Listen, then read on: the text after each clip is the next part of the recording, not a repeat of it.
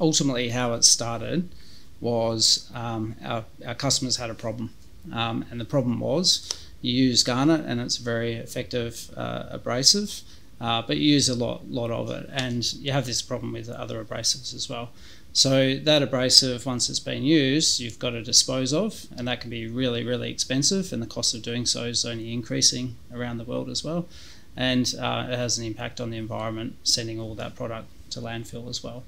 So ultimately, that was a customer problem, and GMA around 20 years ago thought about, well, um, this is why we exist as a business, to try and create value for our customers and to solve customer problems. What can we do about it? and we started uh, researching and um, through a fair bit of trial and error as well um, whether we could actually recycle used garnet uh, and turn it into a finished product.